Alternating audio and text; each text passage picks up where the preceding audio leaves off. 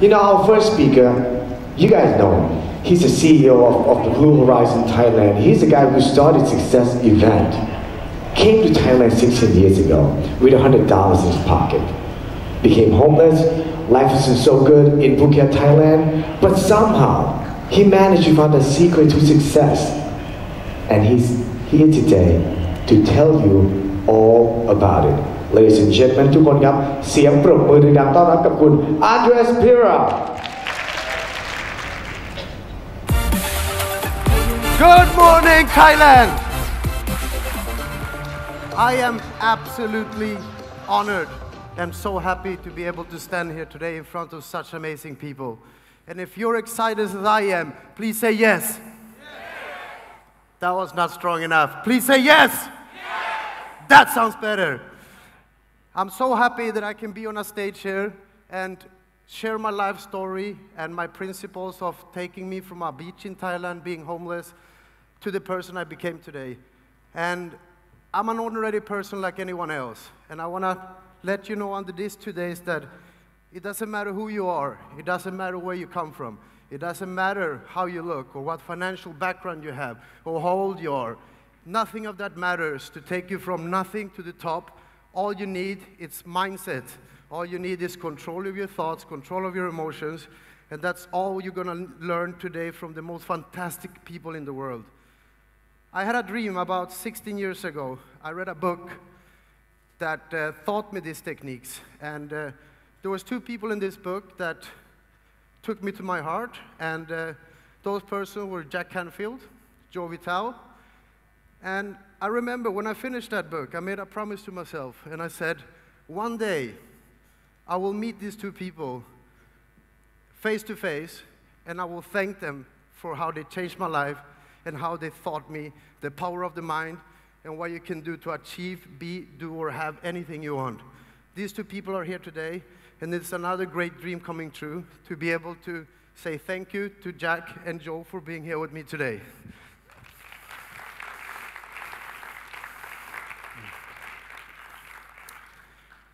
And I want to take you back when I was about 14 years old.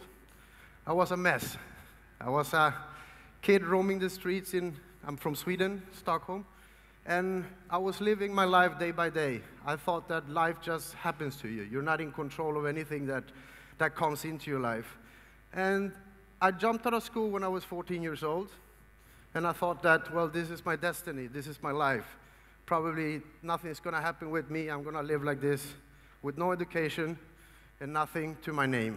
So it took me four years roaming the streets of Stockholm with no kind of dreams, no goals, nothing in life. And uh, what I think would save my life is when I got my first job, and that was a telemarketing job when I turned 18. I hated that job, but at least I had a job. And I had to make about two to 300 phone calls a day, and working from 12 o'clock until 9 o'clock every single day. So that meant that every time I finished job, I had to come home late and all my friends and family and all that, they had to go to bed. So I started to get isolated. I started to get lonely.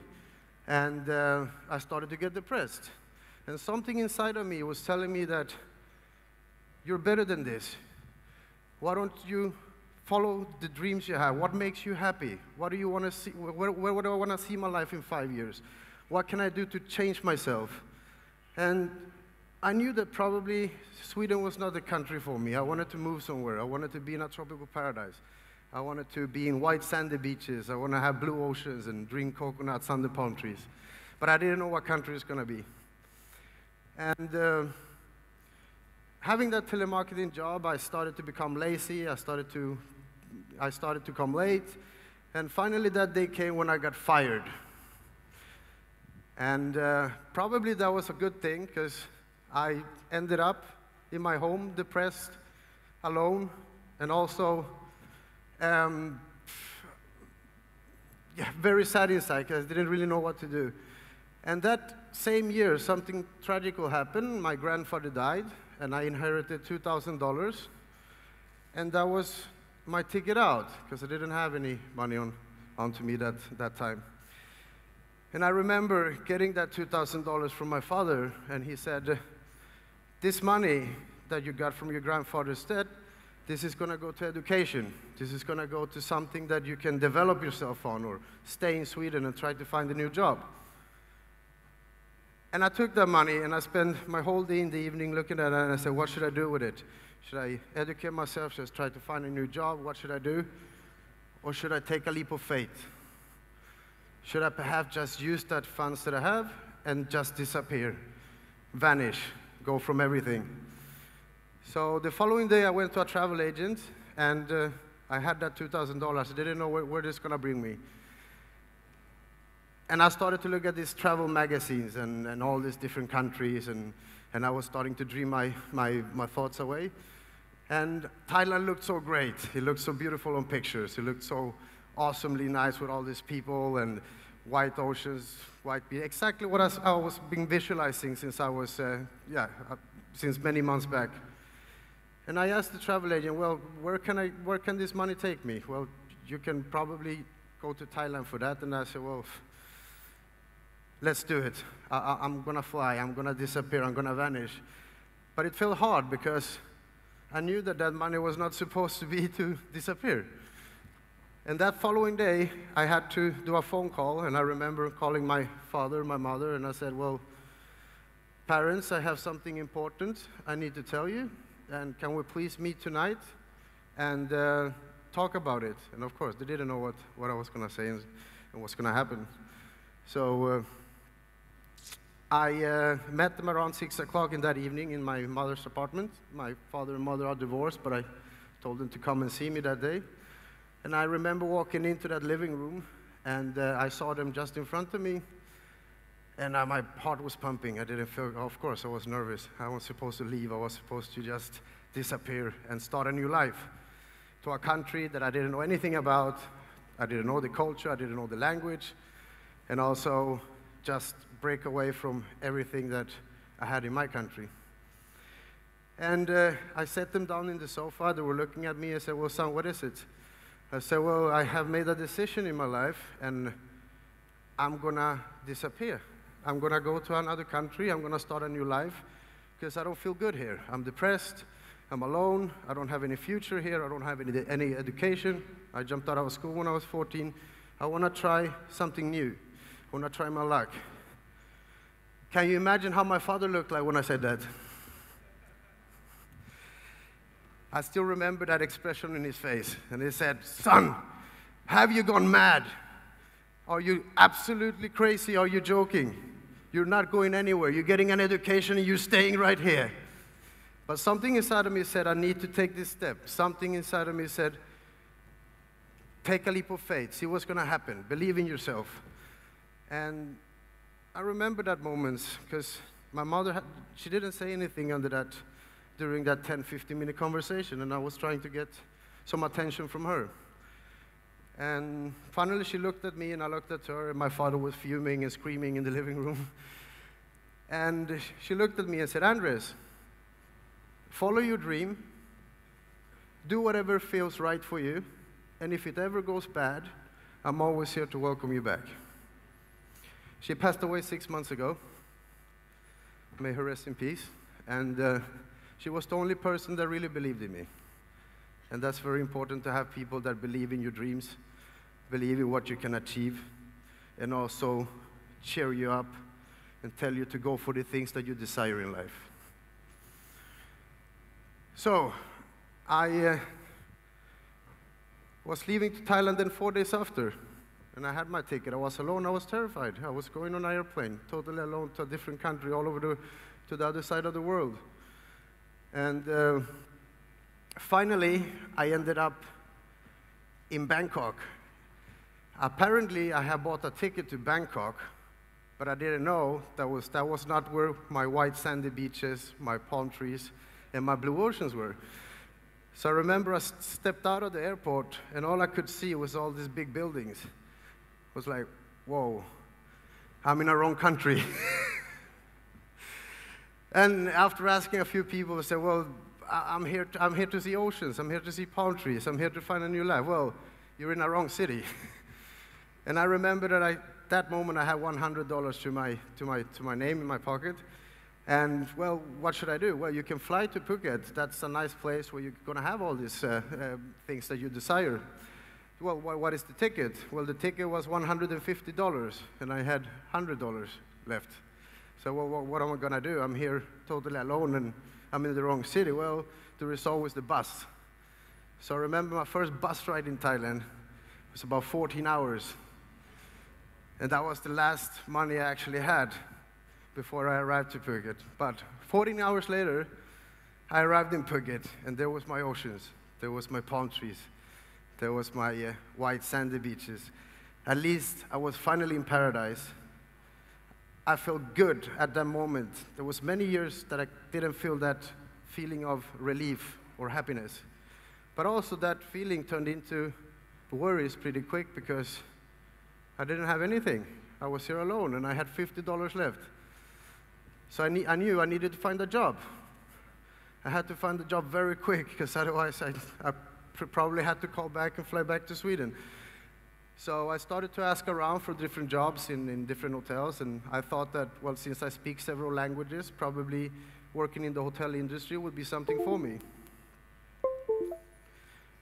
And uh, it only took two days before I landed my first job, and that was for a hotel, inviting tourists into the hotel, giving presentations about their uh, about the accommodations and flights and all this. And at least I had a job, but I only was making about five to ten thousand baht a day, sorry, a month, and uh, that was enough to stay in a. I remember that very clearly. My first little room in Thailand, it was maybe not bigger than 15 square meters, and I had a fan in the roof, and I was sleeping on a mattress on the floor. But at least I was in paradise. And uh, I still had the same mindset that life just happens to you. You're not in control of it. You just live day by day. I was still thinking the same. So that little money that I was making from my first job, I ended up spending it on parties and bars and being late out at night. And I was just, well, I might live today because I don't know what's going to happen tomorrow. That was what I was thinking every single day. I don't believe that anymore.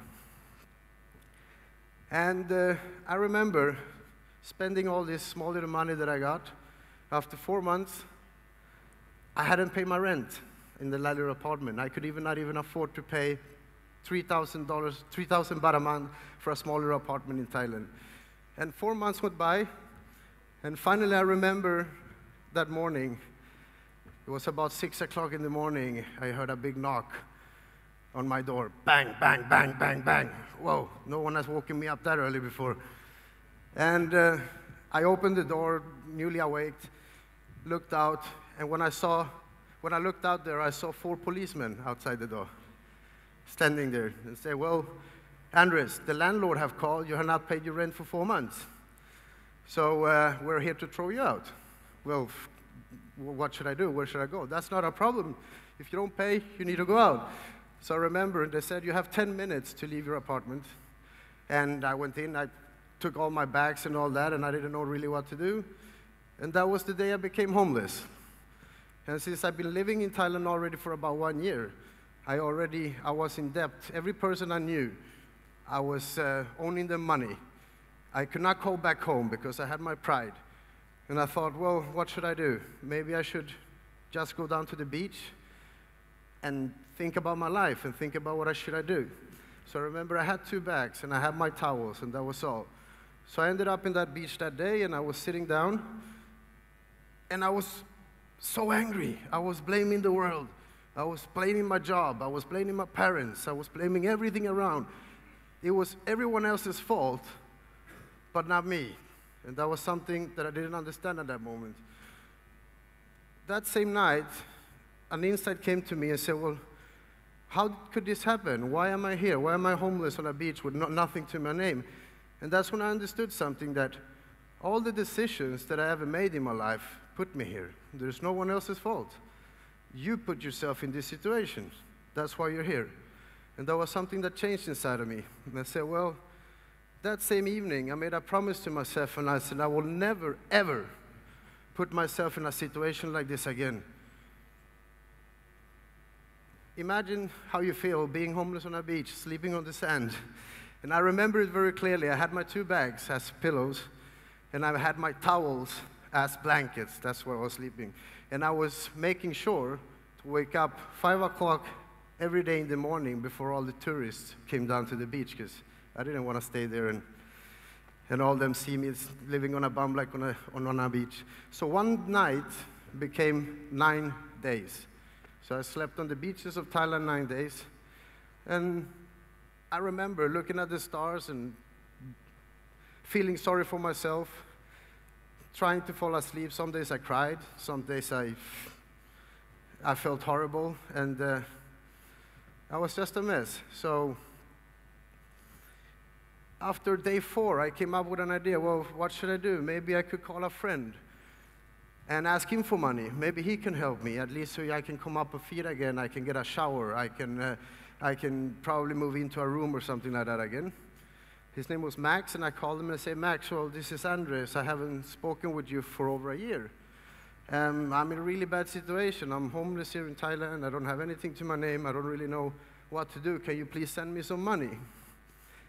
And I understand him today because I haven't spoken with him for one year and I call out of the blue and ask him for money. So the first thing he said was, No, Andres, I don't have money and you haven't spoken for me for one year, so I'm not making too much. I can't send you money, but I can send you something else.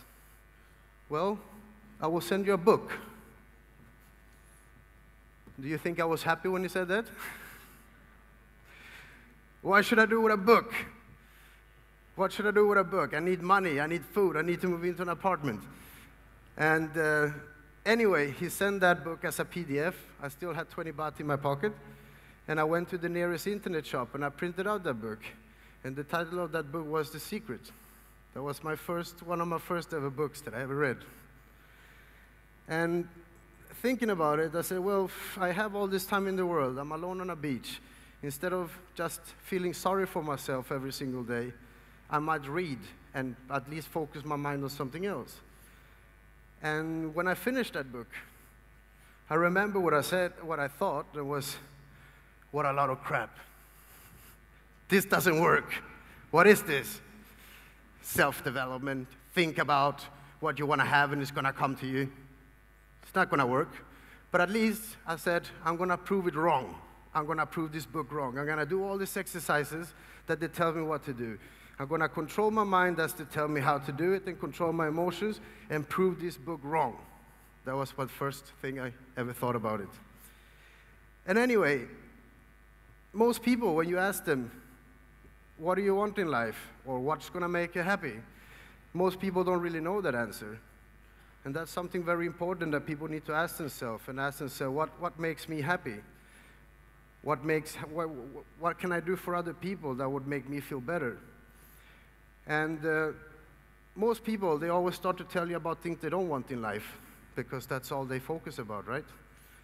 And I, I learned something very quick that if you ever, ever want something in life, make sure you know exactly what you want. Because when you don't know what you want, you're never going to get anything. The mind is very, very powerful, and it gives you everything you set your thoughts to if you just know how to control your thoughts and emotions. And uh, other people that I ask, what makes you happy? What would make you happy? And the first thing they said is, I want a million dollars. Okay? Would that make you happy? Or what would you do with that million dollars? And people are not specific enough. And I thought, if I'm going to do this exercise in this book, I might start small, maybe something I believe I can have, instead of thinking about having a million dollars, or having that big house, or having that car, or having that success. And what this book teaches about is something we call visualizations. And when you visualize, you materialize. When you can calm your mind and be absolutely still and really focus on the things you want, make crystal clear pictures in your head of the things that you want to experience, or the person you want to be, or, or the things you want to have. When you make crystal clear pictures in your mind and you really believe that it's going to happen to you, they will always, always come if you never ever give up. And I remember my first visualization on that beach was okay, well, uh, let's start with something small. And since I didn't have money, I couldn't eat, I couldn't drink, and I was starting to visualize, let's see if this book works. I'm going to start thinking about a cup of coffee. I'm going to visualize a cup of coffee. Someone's going to come up to me on this, this beach, give me a cup of coffee. And I remember sitting on that beach, visualizing, thinking about that hot cup of coffee. I could feel the heat in my hands. I could smell it. I could see how good it tastes. And that. And the following day, it took just one day, one of these jet ski people that, you know, in Thailand that has the jet ski operations, the parasailings and all these kind of things, he came up to me and he said, Hi, um, I've been seeing you sleeping on this beach for several days. I thought I would give you a cup of coffee. Wow, was that a coincidence? Or did I actually create that with the visualizations that this book was teaching me? I said, well, there's probably a coincidence. Let's try something else. And I remember my second visualization was to get a lunch because all I could eat was a 20 baht noodle soup out in the streets. That was all I could eat. So I needed a proper lunch, a nice lunch, a steak with some potatoes and a nice drink and all that. So I started to visualize how that tasted, how, how, that, how, how good it felt to really get a nice, proper meal. So I did the same thing. I visualized on the beach. I calmed my mind. I closed my eyes. I started to think about this fantastic food that was going to come to me. Two days later, I was walking on the beach walk on the way to my noodle soup shop where I always buy the noodle soup that I could afford. And I bumped into an old colleague. And uh, he came up to me and said, Andres, how are you? I haven't seen you for a while. Let me buy you a lunch. And then when I started, I realized that, wow, um, am I into something? Am I creating them with the images of my mind? Or is it just another coincidence? But I started to believe in something. I started to believe that, wow, that might, this might really work. And I started to be happy. And I said, well, if it works with a cup of coffee, if it works with a lunch, maybe it works with bigger things. And my third visualization was getting a job, getting a room, getting some, somewhere to stay again, and also getting uh, be being able to shower again and just feel good. Another three days passed by, that was on the ninth day, and I took action. Most people think that when you visualize something, when you have clear pictures in your mind, you cannot just sit on a sofa and wait for things to come to you. You need to take massive action. When you know what you want and you believe in it and you have your clear pictures in your mind, you have to go out there. You have to take that opportunity. Go and see people. Go and see other people that are already doing what you want. So I started to approach every single hotel, every single company that I could ever come across where I was living. And I landed a job because I was seeing myself having a job in my mind. And that first job I got was giving out brochures for a real estate company. I was still, I was in the sun. I was giving out the brochures. I was inviting people for real estate presentations. And I couldn't move into a room again. And that little room had a small little garden. I remember that outside, outside, my, outside that little apartment. And I continued doing the same thing over and over again. I started to visualize things. I started to write things down. What do I really want? What do I want to achieve? What do I want to have? Because I started to believe of the power of the mind that was, was this book was teaching me. And of course, what you will learn today is the same techniques from the amazing people that changed my life. And also the foundations of how your life can be transformed with just the right thinking. I went from giving out these brochures in, uh, in that office, the real estate office, and then I was starting to look up to all these people in real estate that was making all this money. I was looking up to these sales agents. I was looking out to these developers. And I said, I want to be like them. And how do I do that? And something you're going to learn today that one of the quickest ways to success is to find someone else that already has what you want. And then you mimic them follow them, study them. What do they do? How do they talk? How do they dress? How do they act? And I started to look up to these sales agents and I started to mimic them. Even if I had to go and buy clothes at the local market, I tried to look like them. And um, I was still doing the same exercises, sitting in my room, visualizing, being a sales agent, selling properties, starting to make more money. And it took about six months giving out the brochures. And uh, I remember that day, I, I, an English guy came by the office and they said, Well, I would like to buy some properties, but I'm leaving today. So can I go and see something now? And of course, I was excited. I had another customer. And I went into the sales office. I spoke with my sales director and said, I have this Mr. Peter here who would like to have a property tour, and he, but he's leaving today, so what can we show him? And I remember they told me, well, all, all the sales agents, they are they're occupied. We don't have anyone to, to take care of him. And I said, well, he wants to buy something. We need to do something. Well, I'm sorry, it is full. And then we had to go out again. But I remember I asked this Peter, I said, well, I'm sorry, we, we cannot help you today, but I can, I can take you my motorbike if you want. And I remember I had this old motorbike with gears that I had to drive, and he said, well, why not? I don't have anything to do today. And I only know two buildings that were selling property that day, and that's where I took him. I took the chance. And it ended up that it ended up he buying within two hours with me on a motorbike. That was my first sale, and I didn't know anything about properties and real estate. And of course, when I came back to the office, my sales director looked at me and said, How did you do that? We never had anyone sold a property on a motorbike before. and he said, Well, you might have a talent. You might uh, be able to sell. So we're going to give you a chance. We're going to promote you to a sales agent. And that was the day I was visualizing to become that sales agent. And that day came as I've been thinking about it. I could see myself being that agent. And that's when I got promoted. They got me a car, they got me business cards. And I was so proud and I was so happy. I was finally coming somewhere into my life. And uh, from becoming a sales agent, it went pretty quick. I was still doing the same things. I was visualizing the next step.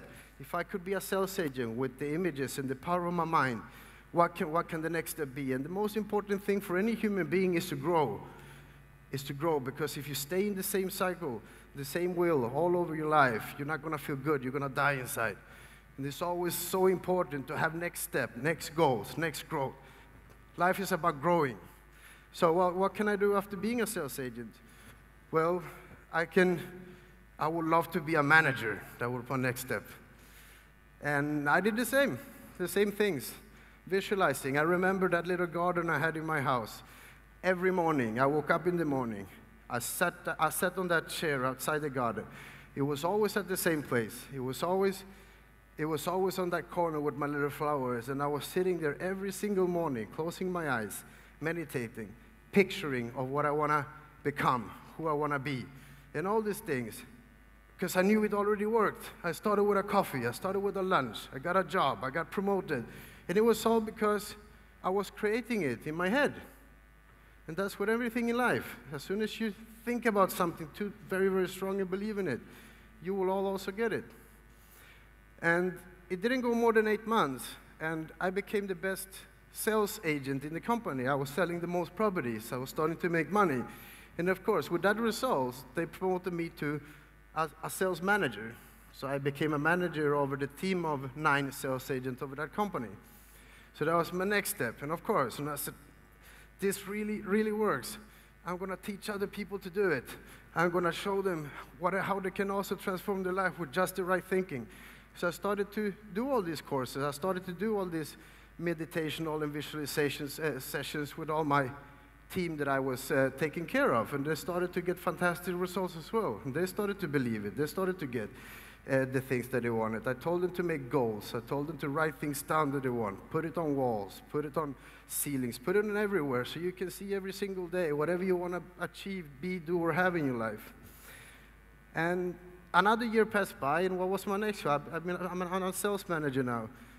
And what can I do to evolve? What can I do to grow? Because I always wanted next step. I always wanted next step. I wanted to just grow and grow and grow. And I said, well, maybe I should open my own company because I was starting to make a bit money. I was starting to save uh, the, the funds that I was doing from the commission, from the sales and all that. And it took another six months after that, and I started my first property real estate company that was Phuket Condos and Homes, a brokerage company selling properties, selling houses and villas all around Phuket Island. And it started to go fantastically well. I started to make money. I had my own company. I started to employ people. I had my first secretary. I had my first accountant, my first admin. And uh, it started to go well for at least one year. And then something happened. My results started to dip down. I started to sell less. I started to get more expenses. I started to, to just lose more and more of the money I have been saving. And one of my biggest mistakes in life is was I invested all the money that I was earning that time into the wrong things. I started to invest in big offices in wrong locations. I started to invest in the wrong people. And I was thinking, let's go for big offices so I can impress people when they're walking in, a lot of computers and all that. But the biggest mistake is whatever company you start, the most important thing is to have clients.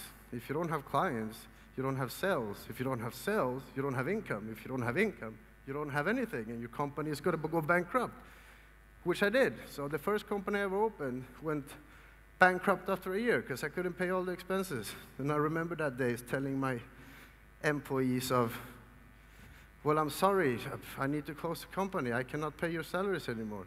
And that was one of my hardest moments also because they relied on me. They had family, they had friends, they, or they have kids they had to take care of. But what could I do?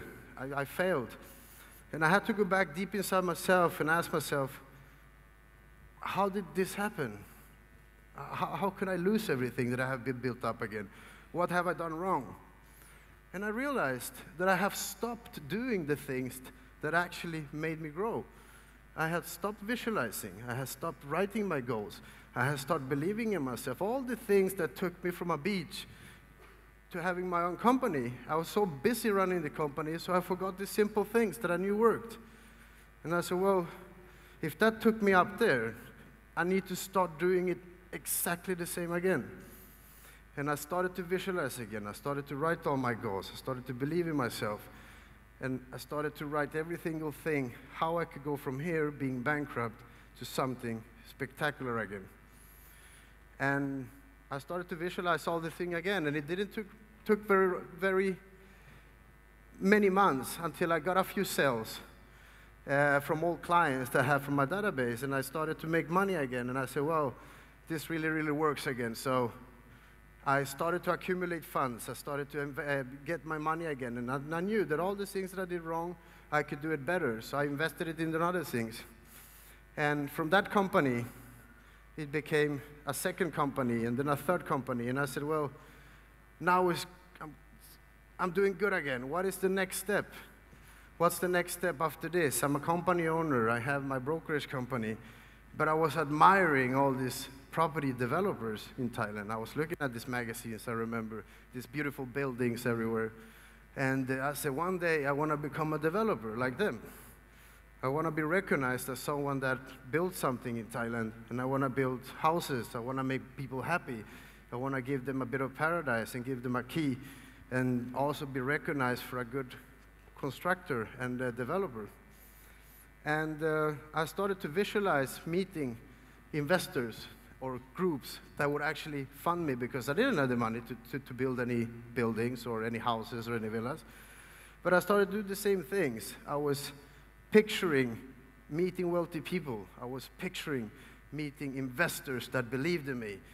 And I started to see buildings that I wanted to, to build in my head. I started to visualize them. And it didn't take long until I actually met an investor group from Singapore. And they, uh, they had bought about nine properties from me, from my brokerage company. I said, Andres, you've been doing fantastic. All the properties that you sold to me, to us, we have made money on. We've got a great investment. We got good returns on it. And uh, why don't you build your own project? And that was the day I've been waiting for. I said, well, I didn't know anything about building a project, but of course I said, yes, let's do that.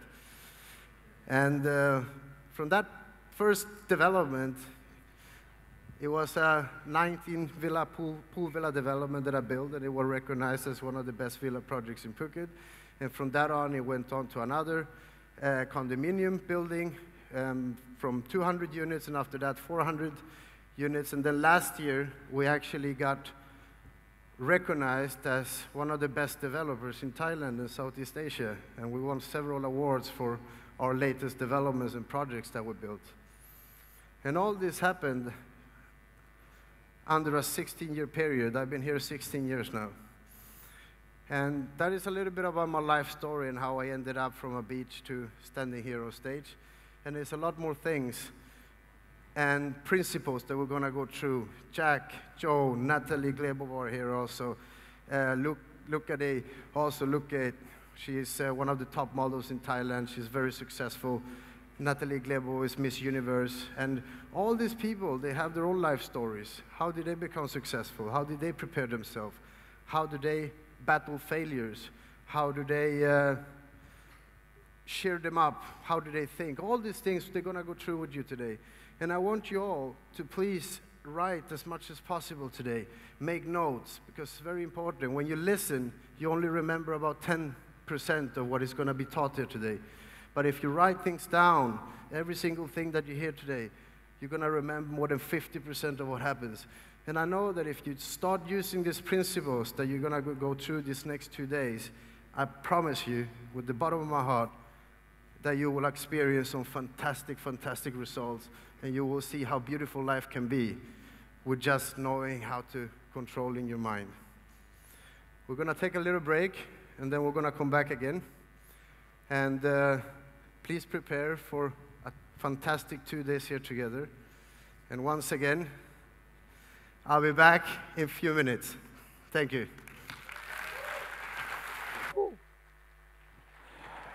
Let's give Andres a little break. I know it's a little bit chilly in here, so we need to warm up just a little bit before we go on. So team ถ้าทุกคนพร้อมแล้วนะครับ เอามาเลยครับ Let's do a little exercise shall we ทีมเริ่มครับ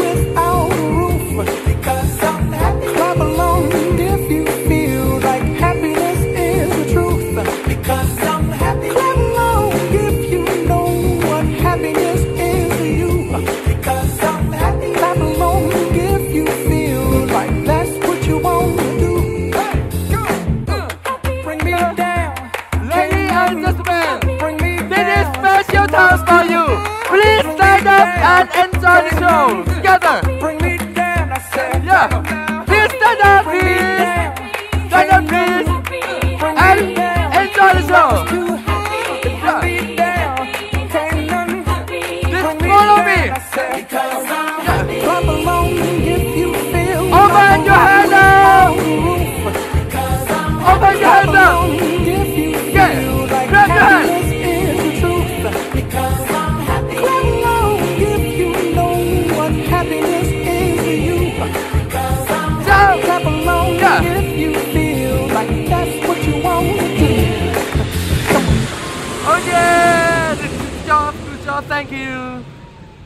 thank you ขอบคุณครับ คุณทีมครับ ขอบคุณทีม Success Events ครับ อ่านะได้ยืนเส้นยืนสายนะครับ ตอนนี้เริ่มอุ่นเครื่องกันแล้วนะครับ เมื่อกี้เราให้สปีกเกอร์คนแรกของเรานี่ได้เบรกนิดนึง ตอนนี้เขาพร้อมกับแล้ว so ladies and gentlemen please welcome him back to the stage Andres Pira Yeah, but can you put that slide on?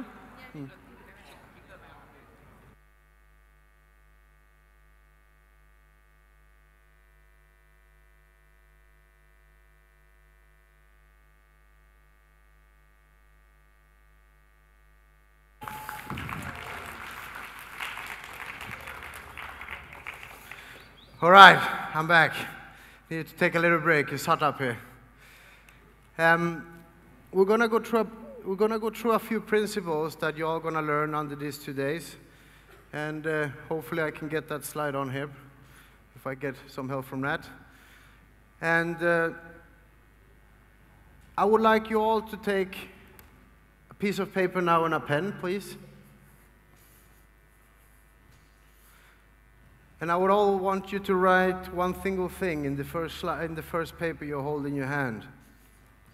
And it's a simple question. It sounds like a simple question, but it's not. Most people don't really know how to answer that. So please go ahead and write what makes me happy.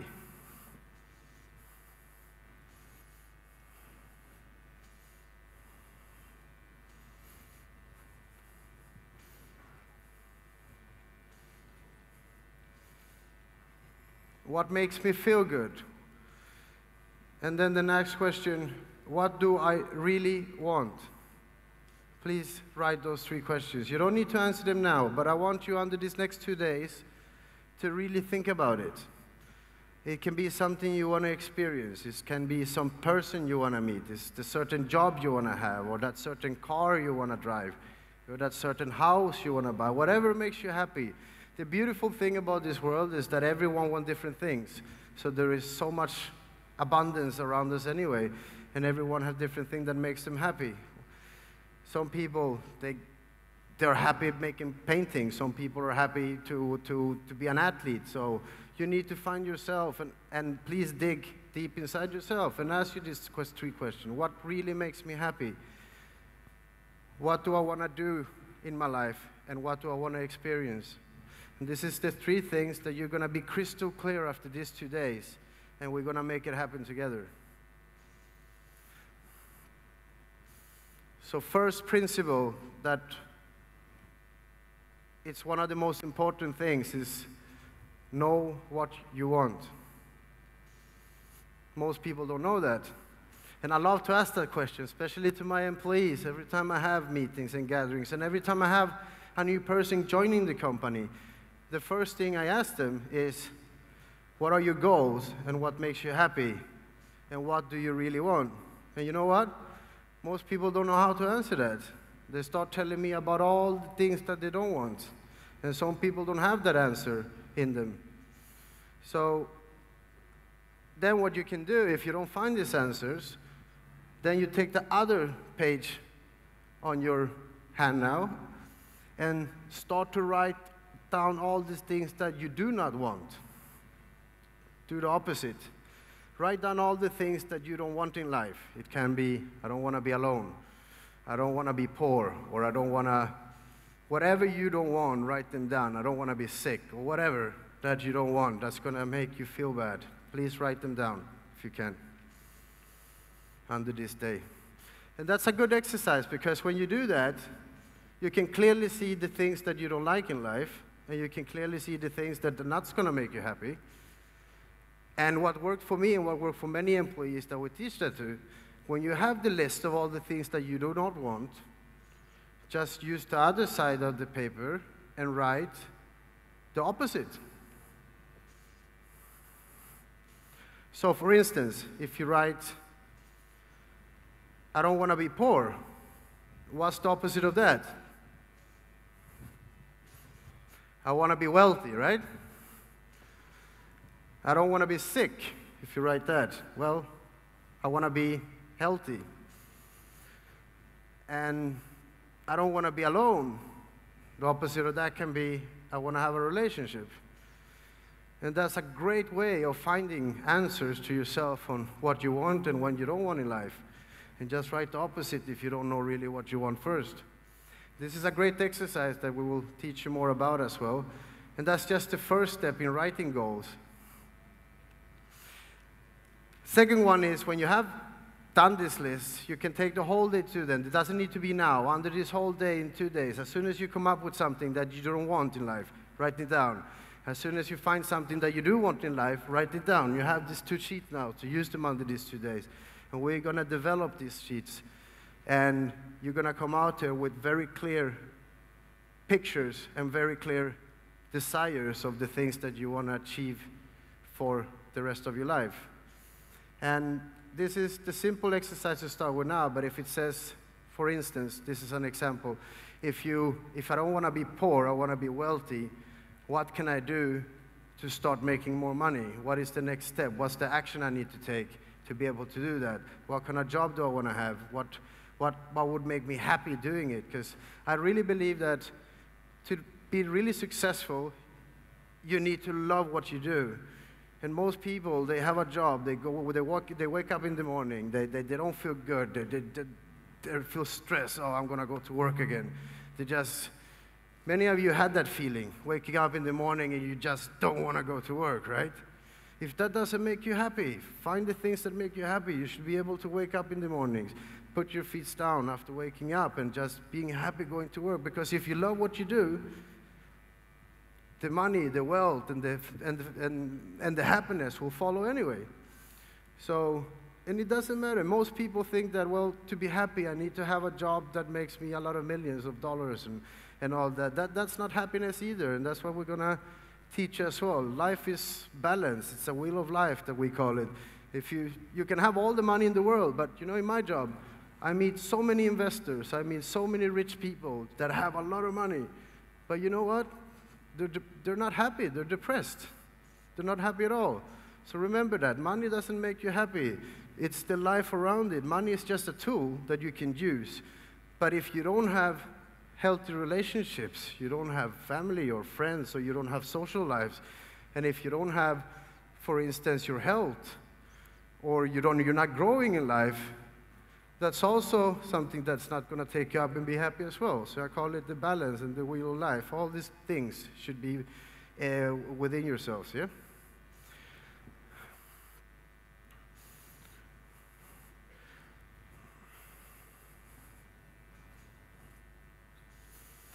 And also, principle number three that took me from something where I am today is also never stop learning, never stop developing yourself.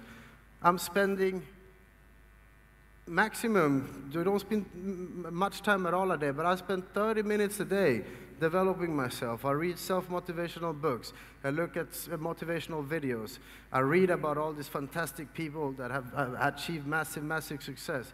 So we live in a big lie in this world, and that's the school systems. They tell us that after we finish school, after we finish high school or university or whatever, that's the day we don't need to learn anything more. And that is so wrong. That's actually the day that you should start developing yourself, start to be yourself, and start to find out who am I? What do I really want? What do I really want to be, do, or have? And what's going to wake me up every day feeling happy, opening, opening my eyes and going to work and having passionate about it. And like I, talk, uh, like I said to you before, visualization is very important. So we're going to go through all these goals that, you, that you're starting to, to write down. And if you, for instance, if you're having, we have now different ones, so I'm going to ask someone in the audience if they can share something with me. Is it someone in the audience that would like to share a couple of the things that you wrote down on the paper already? Please go ahead and don't be shy. Otherwise, I have to pick out one of you. Do we have a microphone?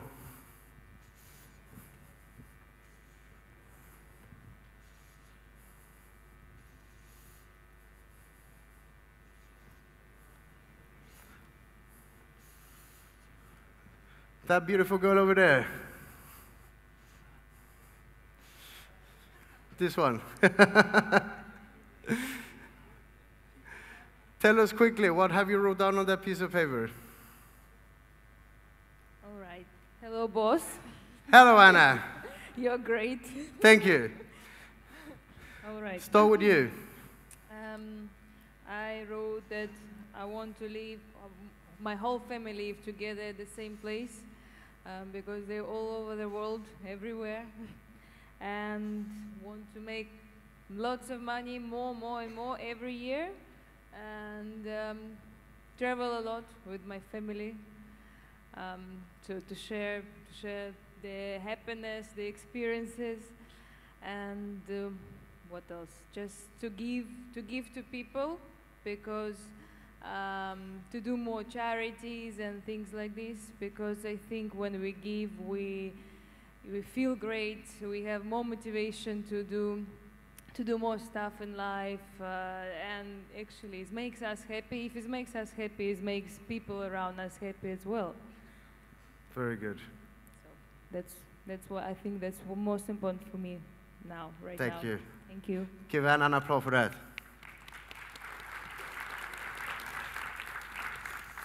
And also, what we're gonna do is, it's very important to share your goals, share your dreams, talk about them, because most people are afraid to do that. They have all these desires, they have all these things in their head. I want to have that, I want to be that, I want to do that, but they don't talk about it. They don't tell other people about it, but do that. Tell other people about what you really want in life. Two things gonna happen. Some people, they will cheer you up. They will say, go for it. You can do it. They will motivate you. And they, you will always get people, we call it the naysayers, who's always going to tell you, well, that cannot be done. You cannot do that. You cannot do this. I don't believe that you can. You're crazy. But you know what? Every time I have people telling me that, it gives me motivation. It makes me stronger. I love when people tell me I cannot do this, I cannot do that, because then I just want to prove them wrong. And it gives me more actual mental powers to, to pursue them, because when you finally achieve them, then that's one of the most beautiful feelings that you can have, right?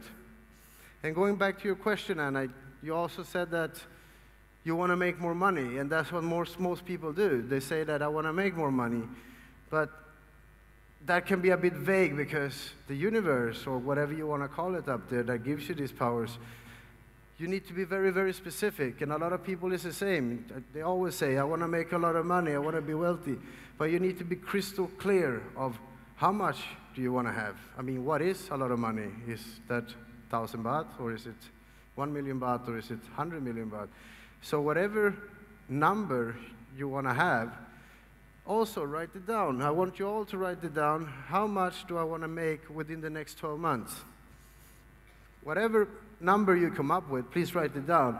But it needs to be something that you think is achievable. Don't write $100 million within the next month because your subconscious mind will tell you that you can't do it. So write something that is going to be hard, but it's possible. So please write down a number that you think that you will be able to get within the next 12 months. Don't worry about how it's going to happen. And that's the beautiful thing with the power of the mind and the visualizations and how strong it can be because we don't need to know how that's going to happen. That's the beauty of it. And most people, they worry about it. How am I going to do that? How am I going to get that? I don't have that income. I don't have that job. How can I get this, all these things? And that's what stops most people in taking action. That's what stops most people in pursuing their dreams or getting their goals.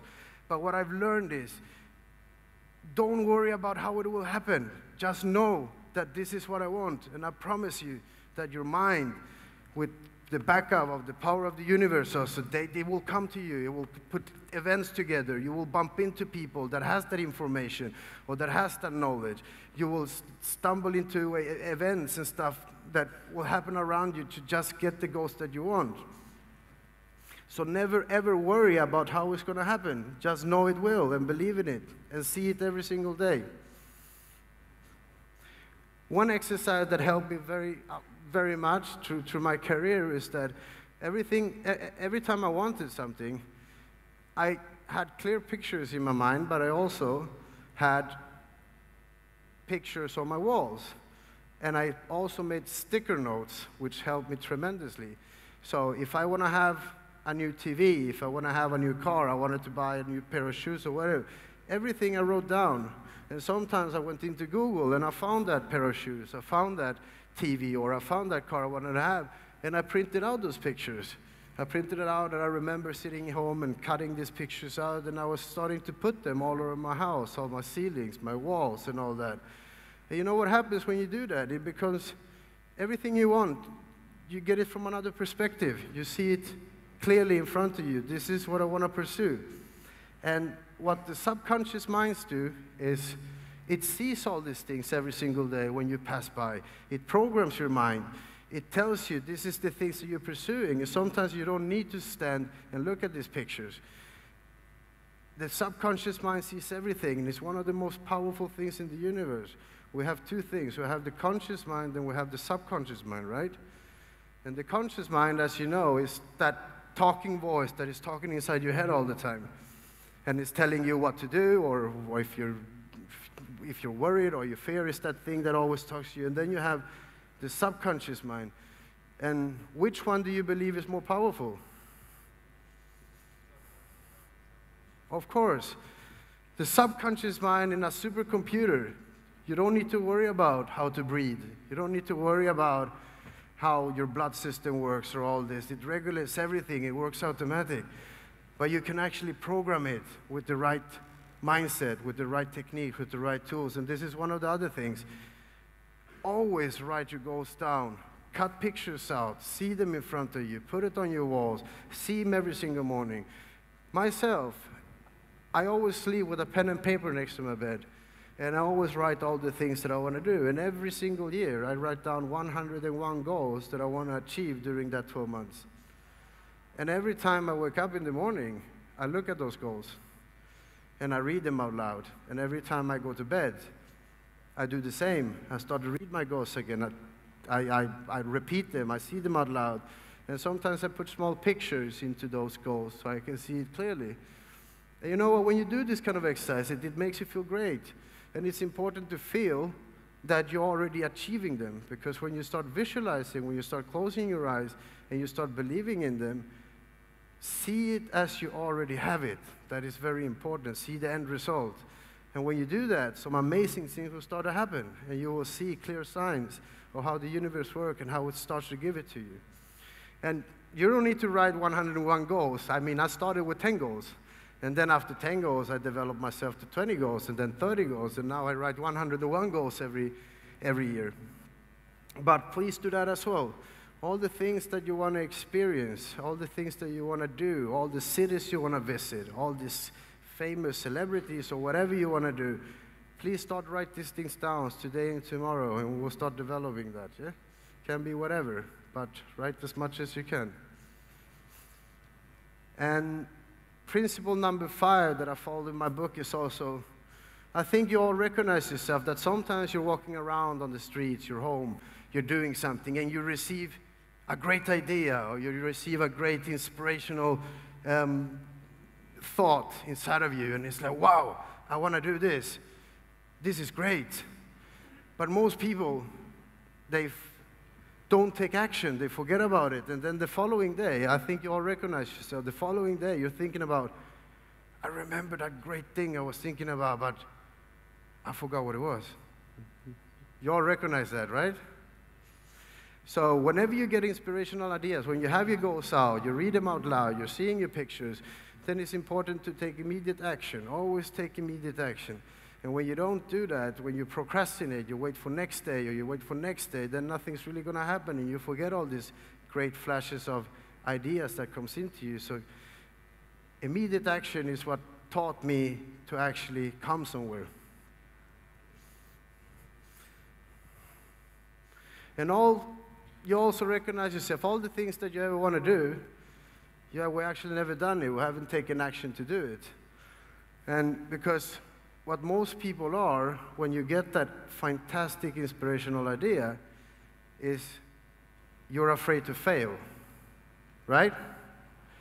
Most people are afraid to fail, to take that leap, to take that uh, the chance in your life. Well, I want to have that job, or I want to move to that country, or I want to have this or that. But we start to thinking about what other people will say if you fail. We start to be afraid of what other people will, will look at you or, or tell you that it's not possible and you don't want to fail. We're all afraid of failure. But what I learned is failures is actually one of the most greatest things that can happen. Now, today, I love failures because failures, you only fail if you quit. But if you never ever quit, you're always going to get what you want. Failures are only there to teach you, to harden you, to prepare you for that person that you want to become. So failures are actually just lessons. So remember that.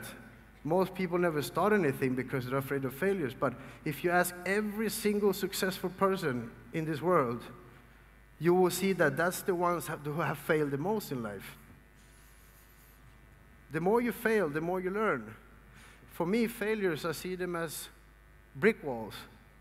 Many times when you get an inspirational idea, you, you, there's something you want to achieve or be or do or have, and you take that step, you take that action, you start to pursue it, the first thing that happens is that you hit that wall. And that's the brick wall coming to you, that's failure. And what most people do when that happens is that they quit. They don't see a way around. But any wall, you can go under a wall, you can go over it, you can go left to it, you can go right. That's just something to teach you something because you have to become a certain person because before you get what you really, really desire. And these walls are only there to create that person until you get that success. So please remember that failures are great. They're just lessons. They're lessons in disguise. And also, see it clearly in your mind. Whatever you want to be, do, or have, you, it needs to be created in the mind at first. Nothing can ever be created if it's not created as images in your mind. It's very, very important to always see that every single day.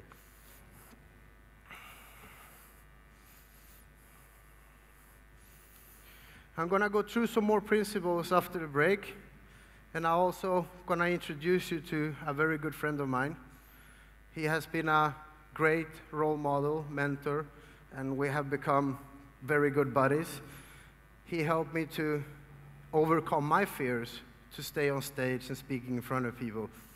I remember when I met him the first time in, in Thailand, and he, I came to him and said, Well, Joe, I'm, I'm, I'm very nervous. I'm going to talk in front of all these people, and I've never done that before what should I do? And he, and he told me, I'm nervous every time. Joe, you, you do this for a living. You've been, you travel all around the world. You talk in front of thousands of people. And he said, I'm always nervous. But nervousness is the same feeling, actually, as excitement. It depends on how you think about it. It's just a little switch of how, how you see it in your mind, right? So I'm going to welcome very soon Joel, one of my good friends, buddies, and mentors that have taught me almost everything that I, I know today about mindset and success. So I will have PK coming up first, and he will introduce you, and I'll be back very soon, everyone. Thank you. Big round of applause for Andres Pira. I love it. You only failed if you quit. I know. A lot to learn today and it's really cold in this room. So ladies and gentlemen, let's pick the energy up a little bit. Team 9 Cup, let's dance one more time.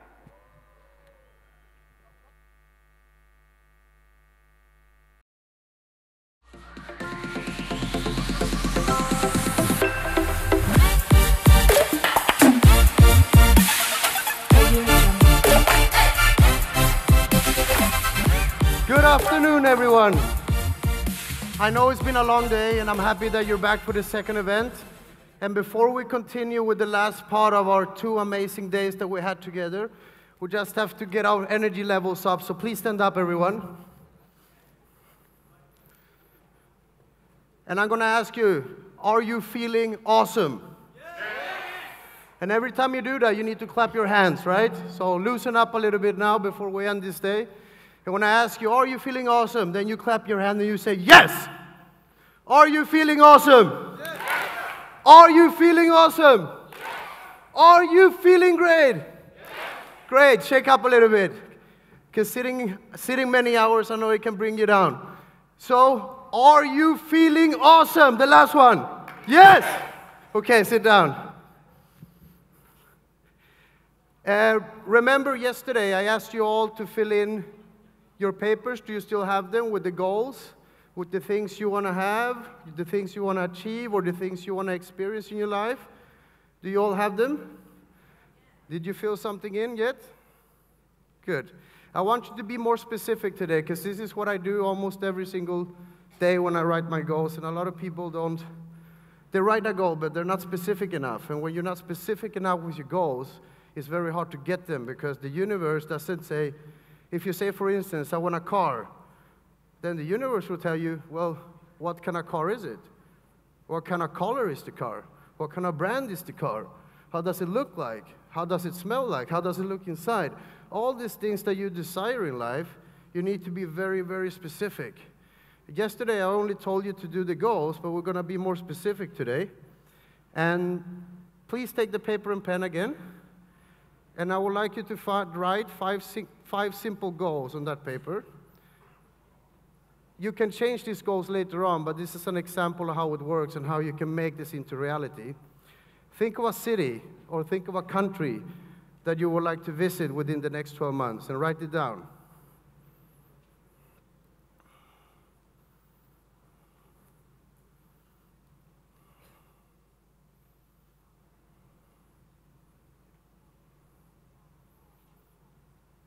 You done?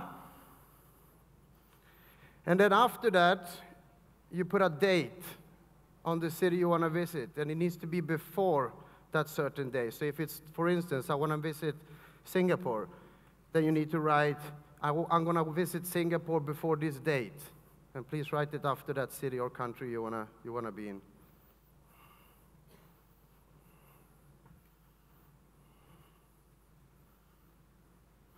And the next goal, just write something that you want to buy, that's something you want to own, that's something you want to have.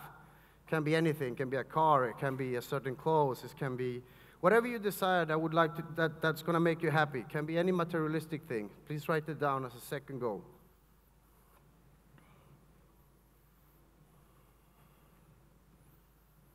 And you would do the same there as well. Then you write the date after that.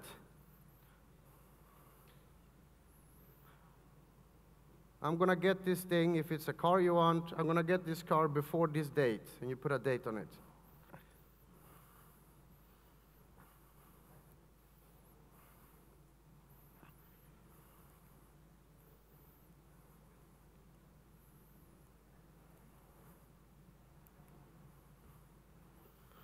And third goal, write, think of a person that you would like to meet can be a celebrity, can be a family member you haven't seen for a while, can be an old colleague or an old friend that you haven't seen for years or something. Write that person's name down.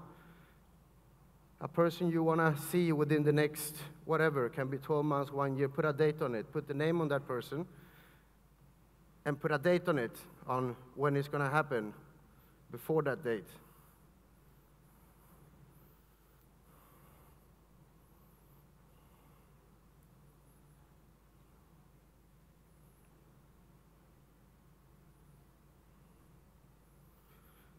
Next goal is we all want to grow, we all want to develop, we all want to learn, new things. Because as long as, as long as we stop learning, I believe we start dying inside because nothing else is happening in our life.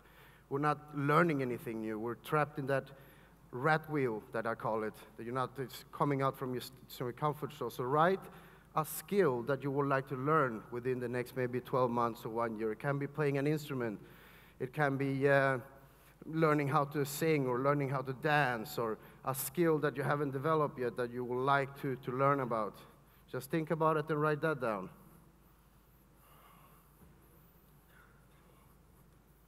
And it's the same there.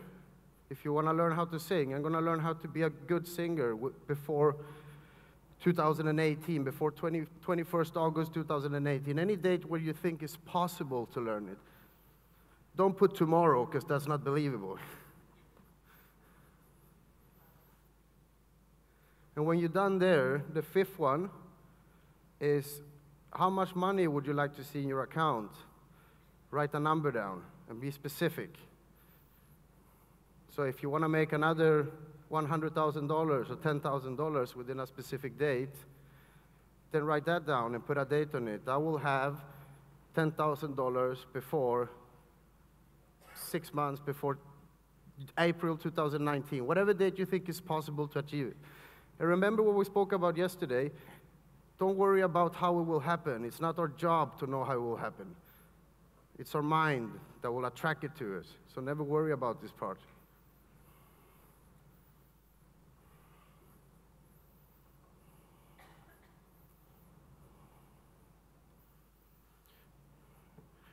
And remember what Jack and Joe said yesterday never be afraid to talk out loudly when you have some dreams and when you have some goals. Share them with people, talk about them. And that's what I'm going to ask. If it's someone here in the audience now that can please share with me those five things that I just spoke about. Is it anyone in the audience that would like to share this with the rest of the group?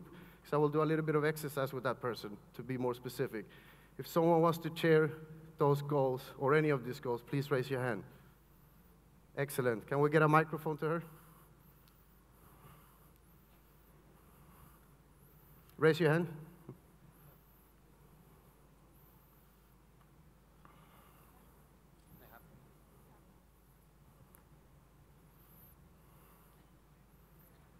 Okay. Hello? Hello. What's your name? Alejandra is my name. Very good. Give her an applause for taking the courage to actually share her goals. So let's start with the first one. What did you wrote as a city that you would like to visit? Yes. I would like to visit Mexico uh, before February 2019. Mexico. Yes. Before 2019. Great. Yes. Why do you want to visit that country? Because i never been there and um, I would really love to go there and see what Mexico has. Mexico is a big country, so what city would that be in? And Cancun, New Mexico. I, I, I would like to travel around in Mexico, not only one city. Okay. But if you have to choose, let's say, two cities in that country, which, which cities would that be? Mm, Cancun, and uh, I don't know the name of it, but I have a, a auntie who lives there, uh, Okay. and so I would like to visit her too. But I don't know, I don't remember the city that she lives in. Okay. So that's a perfect example how it works when you make goals. We're not specific enough. So when we say we want to go to a country, well, what, well, what country and what city is it? Then be, be clear. I want to visit that city because of that. And when I visit that city, this is what, I do, what, what I'm going to do in that city. You need to start to develop yourself on that goal. For instance, what can you do in Cancun? What kind of what kind of excursions do they have there? What kind of restaurants do they have there? So you make a whole travel and detailed plan of that goal, and it becomes more real, right? You need to build it up in your mind at first. And that's when the universe also sees that and it tells you that, well, okay, you're specific, then it's so much more easier for, you, for me to give it to you. Because otherwise, there's also confusion within it. It's very specific with details. It's the same with uh, another goal, for instance.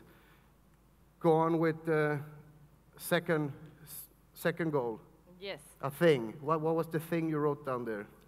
A, new nice apartment with my boyfriend and his son. That's a great goal. okay, so then once again, how big is the apartment? Around uh, 65 uh, square, squ- Square meters. yes, Okay. How many bedrooms does it have? three. No, two bedrooms and one living room. Okay. what colors are inside that bed, uh, at that apartment? Uh, I would like to have different colors depending on the room. So What colors comes comes into your mind when you think about a beautiful apartment? uh, white, um, green, beige, uh, brown, like the tree, uh, like trä, tree, wood. Wooden tree. Wooden, you- yeah, yeah, wood yeah. tree colors.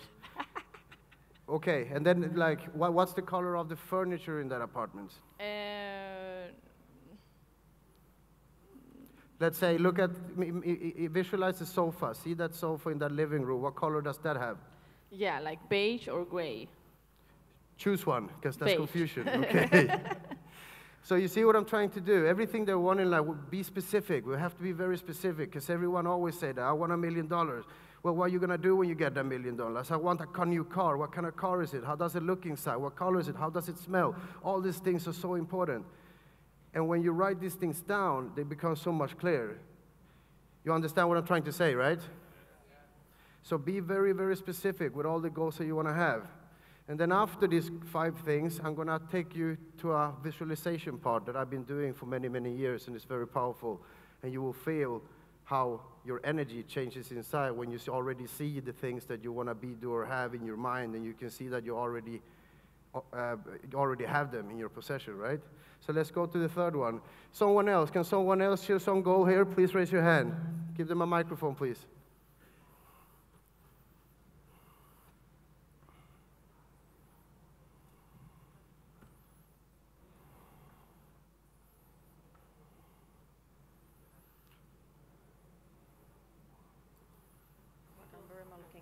Hello? Hi.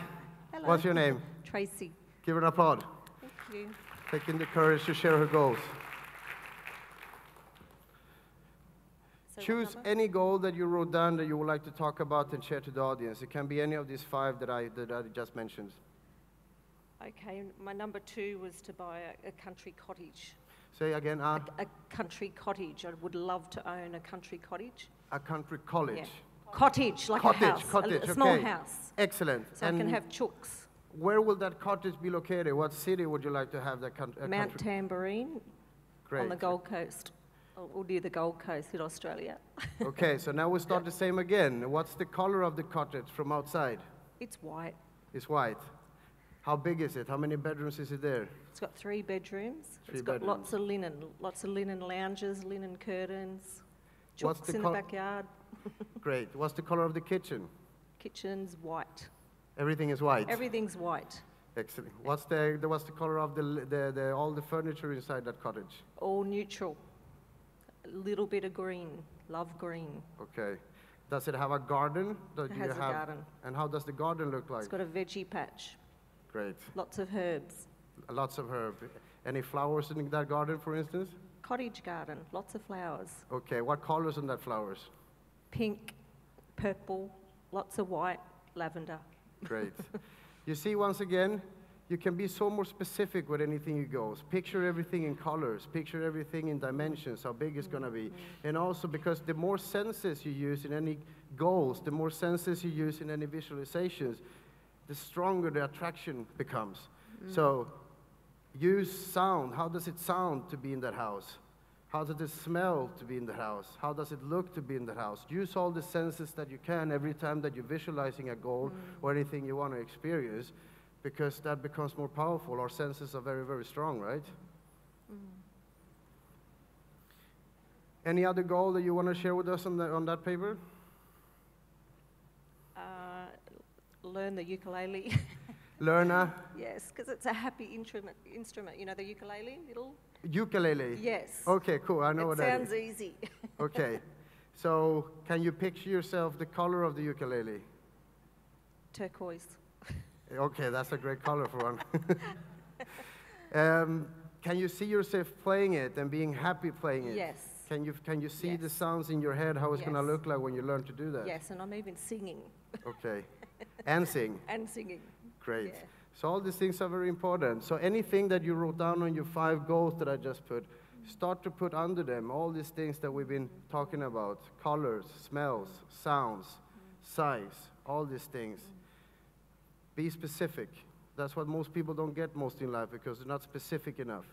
They create confusion with what they ask for.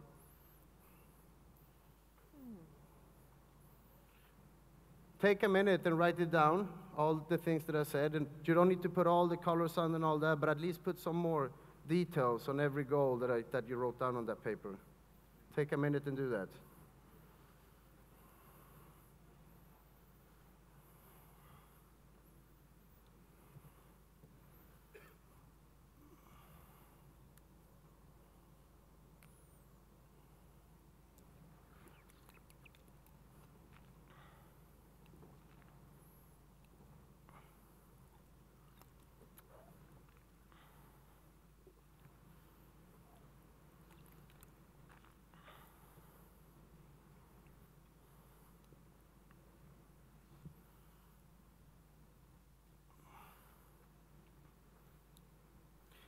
show me.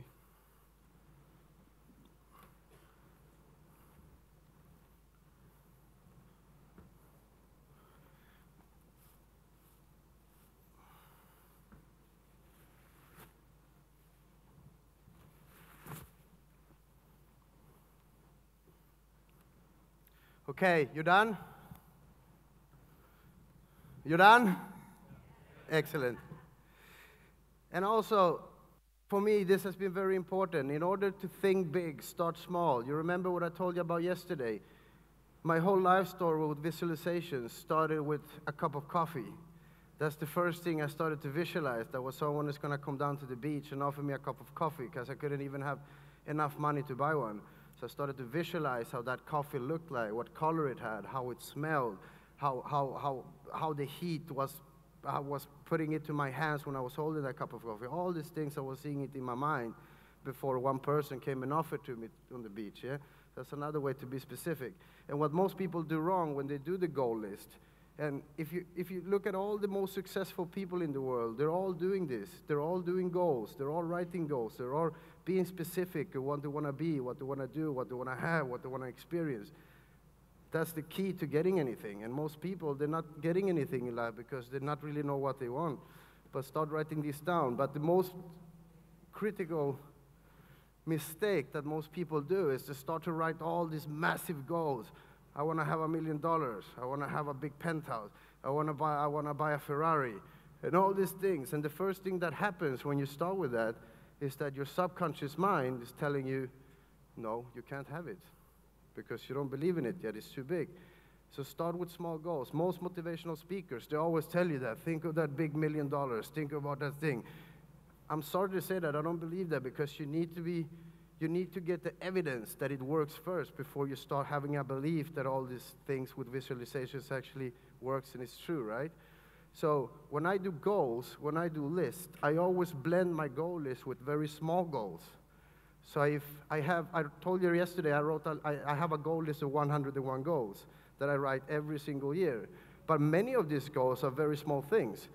One of the goals can be, I want to have this new pair of shoes, or and I put a picture on that, that, that new shoes I want to have. I want to buy a new TV, or I want to visit that next city next to mine. I want to experience that, uh, I want to test drive that car. Small goals are so important in any goal list. Why? Because when you reach small goals, it feels like you're moving forward. Does, does that make sense? So it's very important, and it's a great feeling every time I do it because you feel proud of yourself. You get confidence when you take, take that pen and you scratch that little goal out from your list. Whatever it's a shoe, whatever it's a TV or a DVD, the small goal. But when you get them, you feel like, wow, I just crossed one of my goals out. And that's where confidence starts to build in. So small goals are very important with whatever you do. Remember that. So 101 goals is not hard to get if you put them with small goals around, right? But also make sure to blend in the bigger goals there. Bigger goals can have a longer time period. You can put a big goal that is going to be within the next three years. A new pair of shoes can be within a month. So be specific with that as well. All right? Now, I would like you to choose one item that you wrote down. It can be the city, it can be a thing, it can be the person that you wrote down on the paper. And I would like you all to just, for the moment, close your eyes. I'm going to take you to a visualization part that I've been doing for many, many years. Every time I, before I go to work, I go step out in my garden, I do this exercise, I visualize all the things that I want to have, be an experience, right? And what happens in the first, when you close your eyes, is that you start to get all these kind of different thoughts in your head. You know what I mean? They're coming from everywhere. It feels like we're not in control. And to be able to calm that and to be able to separate those thoughts coming out, and before you start visualizing, you need to calm your mind, you need to silence your mind. And how we can do that is very simple. We can use our breath. We count every time we breathe. So when you take a deep breath in, count to three, and hold that breath for three seconds. Try that. Breathe in and close your eyes. Hold it for three seconds. One, two, three. And then you blow out again. And then you do that again. Breathe in. Count to three. One, two, three. Breathe out. One more time. Breathe in. One, two, three. Breathe out. And you see what happens when you start doing that? You start focusing on just that and you start stop thinking about other things. One more time, breathe in. One, two, three. Breathe out. And when you start to calm your mind and you do have all these other thoughts, you're getting separated. Start to think about that thing that you wrote down. If it was a city, if it was a thing, if it was a person you wanted to meet, or if it was that amount that you wanted to have in your bank. See it clearly in your head now. See that you're experiencing, experiencing it. See that it's already happening in your head. It needs to be like a movie, a video. It's not just an image. You're doing it. It's emotional video in your head going on. How does it feel? Doesn't it feel great to already have it? Feel that happiness inside of you. Feel the proudness. You're proud that you have achieved that thing that you want to have. How does it look like? What colors does it have? How does it sound? And remember to feel so happy that it's already within your possession. It already feels great that you achieved a great goal. It's already yours, it's already happened. Hold that thought for a second. What do other people enjoying that thing with you? What are they saying? Are they laughing with you?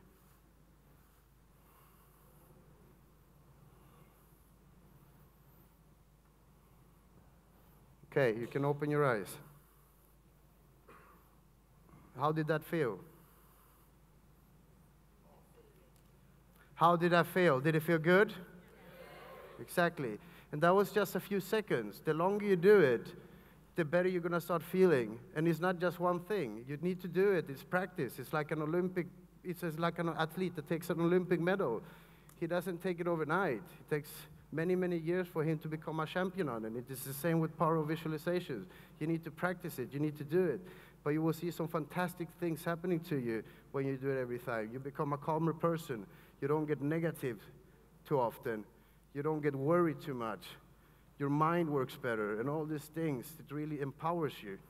And I know that because I went from a cup of coffee doing that to imagining building hotels with over 700 rooms doing the same thing.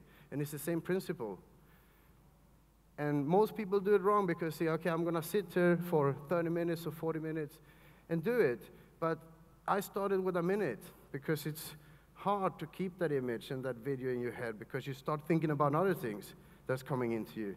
It's a lot of thoughts that we have all the time, right? But the more you do it, the more calm you become. So I started with a minute, then it became two minutes, and then five minutes, and then seven minutes. And then sometimes I could open my eyes and look at my watch and realize that, wow, I've been sitting here for 45 minutes, but it felt like five minutes. And it's a beautiful, beautiful, one of the most powerful things. Because when you do that, what's happening is that your mind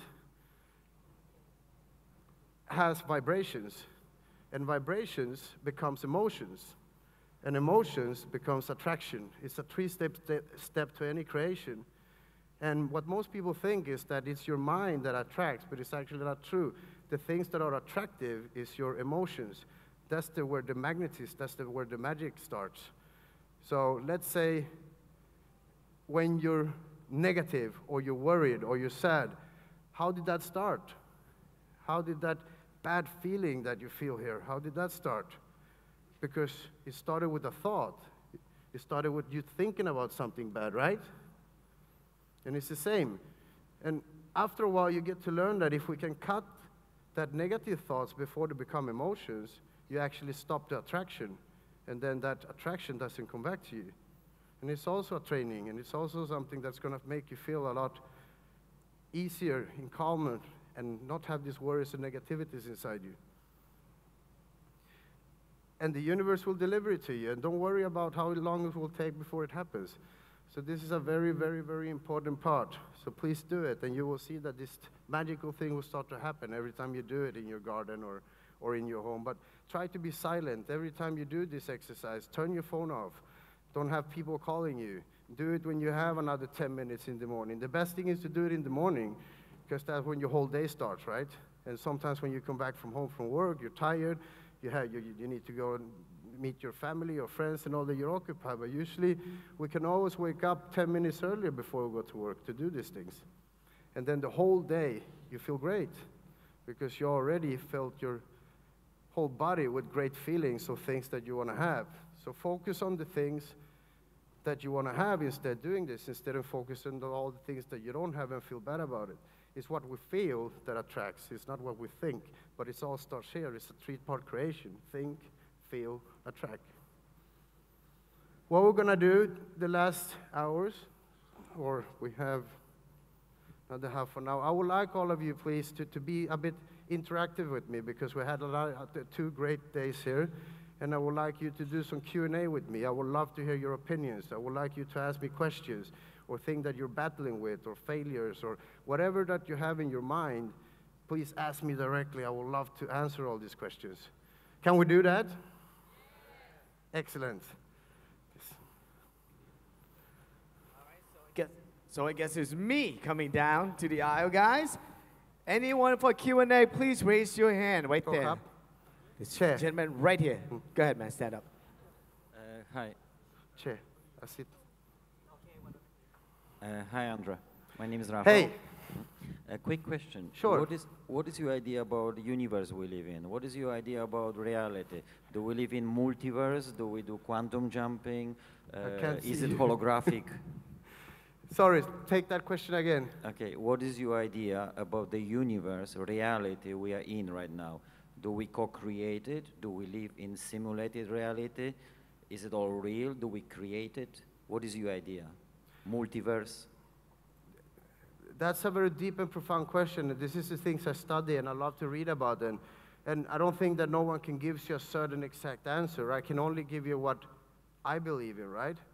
And I believe that actually there is no reality. We create our reality with the images of our mind. And that is how the whole universe and the whole, the whole planets and all the things work. Is to give you a little example, I mean, if you look at that TV, it, it was it was created because someone thought about it.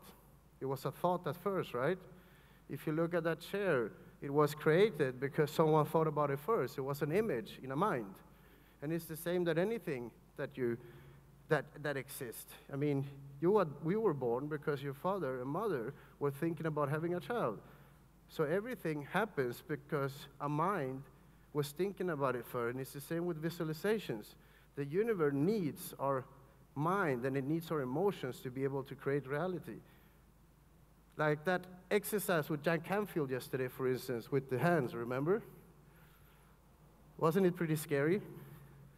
That you could see that you can actually, your hands and your fingers can become longer. is the same.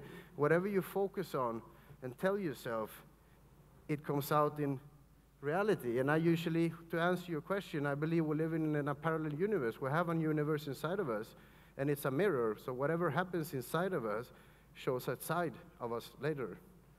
So everything happens inside, and that's what other many people teach that you should seek happiness outside.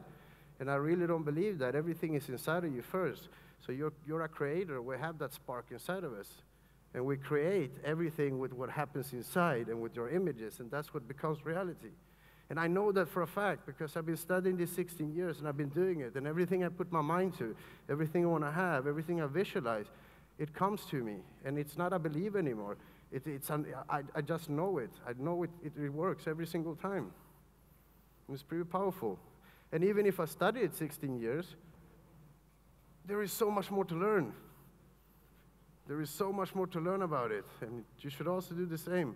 Always, de- uh, like one of my biggest principles, always develop yourself, always study, always find out who you are, and all these kind of things. Every single day, spend 30 minutes. We all can do it. Like Jack Canfield said, no excuses. If you want to be better, work on yourself. And also, you should always work more on yourself than you work on anyone else. So, was that an okay answer for you? Okay. All Next one. คนต่อไปครับ ภาษาไทยก็ได้นะ เดี๋ยวแปลให้ ทางนั้นมีไหมอ๋อโอเค I like the heat in this stage. Thank you.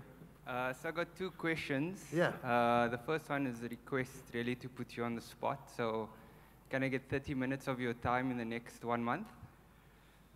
Uh, you need to talk with my PR agent and see if I can schedule because I travel a lot and see. But yes, I like to help people and do that if I'm available. But I'm here one day and I'm in London one day and Moscow one day. So please get your business card up here. We'll take it and then we'll send you. You can also go into the website andrespira.com and you can schedule appointment or schedule training courses. Yes, you can. So Okay. do that and we will go back to you. Yeah. Excellent. Uh, second question is uh, a lot of what we've been speaking about is uh, kind of one-to-one personal development, right?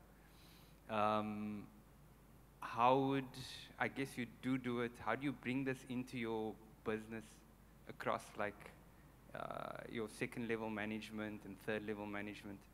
How to make sure the principles are actually filtering down to Speak a bit louder so I can hear you. Yeah, sorry. how, how can we use these principles in a company setting?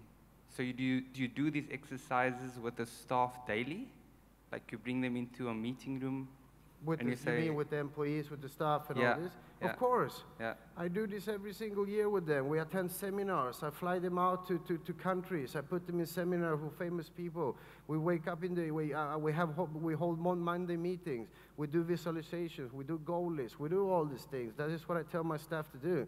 And every time a new staff starts in my company, the first thing I tell them is to do exactly that.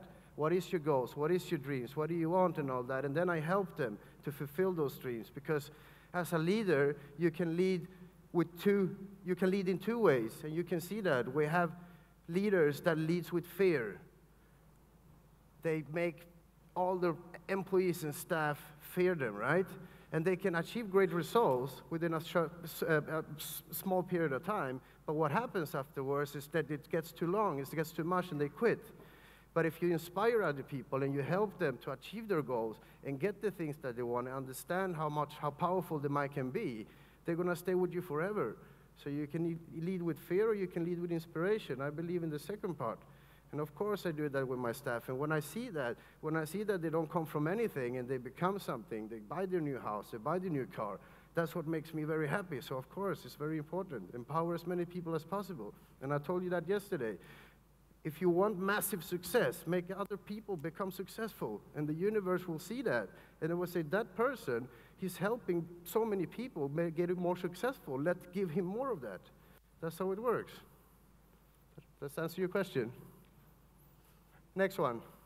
Now, Andres, I gotta say that we have we have time for maybe two more. That's it. Before Room 39 can take the stage. Okay, If that's okay. sure. เอาเอาตรงนี้ก่อนเดี๋ยวตรงนู้นก่อนครับตรงนี้ก่อน Yes, hello, I have a question. Uh, they say that the first years of your life is the most formative years, and it affects how you react on life and how you deal with different situations. Uh, uh, how do you, how can you change those type of behaviors and um, develop yourself from your, how do you say, natural instincts? That's a great question, and, and what I call that limiting beliefs. We grow up with a certain belief about certain things, right? And you also have to realize that when we get born, and after we start kindergarten, we have a kindergarten te- telling us what to do and not to do. This is good and this is bad. This is how you should react. This is what you should say. This is how you, you should eat and all that. And then you start in school, and then you get teachers telling you what to do. You should not do this, you should not do that, you should talk like this, and you should behave like that, you should think like that. And then after that, you have your parents telling you the same. And then after that, you get a job, and then you get a, uh, you, you- get a manager, or you get, you, you get a boss telling you exactly the same. Don't do this, don't do that, think like this, think like that. So all our life, we have been programmed into believing in what other people think is right. And that's when we get trapped in our mental wheel, right? And that's the limiting beliefs that you have been put in all your life because people are having telling you what you should feel about things or what you should do about things. But you can change them, and that's why we should go inside ourselves and change that belief. And those beliefs is in your subconscious mind. And like I said, we can program our subconscious mind and take off those beliefs with exercises like visualizations and asking yourself, what makes me happy? And how can I change that belief? Why am I afraid of that? You need to really self talk, is also one of the most important things that you can do. We live in a very hectic world. We never had time for ourselves. We're always working. We're always on Facebook or Instagram, or we're always reading something. We're always with friends. We're all going out. But how many times do you actually spend quality time with yourself? And that's one of my biggest principles also. You can never really learn who you are if you don't spend time with yourself. But most people don't do that because they're afraid to be alone. But when you love being with yourself and talking to yourself and telling you all these questions, you will see that amazing answers will come out. And it's like talking to your soul. There is something inside of you. It's not that voice that is talking into your head, like we call the conscious mind. There is a deeper voice inside that actually can give you those answers. So the most important thing, because I don't know what limiting beliefs you have, but you can find out by doing exactly that. So please do that. Spend the time alone. That's why I love being in mountains. I love being an adventure. I love being inside, deep inside jungles. I love climbing mountains all over the world. I do that because then I'm away from phones, I'm away from emails, away from facts. Even if I want to call someone, I can't because there's no connection up there. And that's when I can spend time alone. And my biggest inspirations to all my projects that I built and, and all the, the architectural things and all the, the pictures, how everything I want to create, they come in those moments when I'm alone, when I'm not with anyone, when I'm still, when I'm silent. And it's fantastic. You should also try it. And if you don't have the time to do it, even if you're living in a big city. You can be alone just in your apartment, in your living room. Close everything down, close your phone. Be with yourself and talk with yourself. We often don't do that. But like I said, you're the most important part in anything in life. But talk with yourself and spend time alone. That's one of my biggest chapters in the book, also, how to do that. Okay, last question. All right, let's go. Last question, Charlie. Yeah, sure. Hi, Andres. Yeah. I'm here. Yes. I feel honored to meet you today. So Say again? I feel honored to meet you today. No worries. Thank you for coming. Yep. So what inspired you to do the world best event?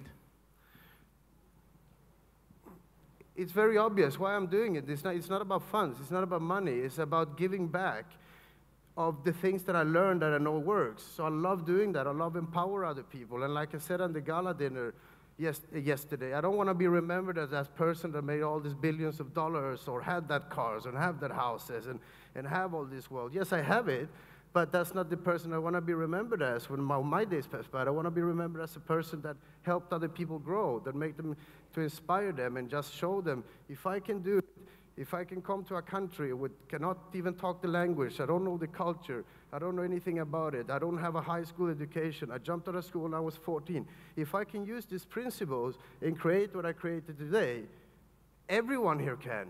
You just have to do them, but you have to be obsessed about it and you have to really go in for it and study it. It's not going to happen overnight. But like I said, when I'm 60, 70 years old, I don't know how, how long I'm going to be here. When I close my eyes, I want to remember all these people that I changed. I'm not going to remember all the houses and all the money I had and all that. That's not important. And you know what? You already motivate me a lot, and I believe that you motivate a lot of people in here, and a lot of people know you. Thank you so much, Andy. Thank you, Fum. I wish I could be here longer, guys. And um, when is the next event? The next event, we're planning to hold it around April and May, but we will uh, be back with you on the exact dates. We're planning it now.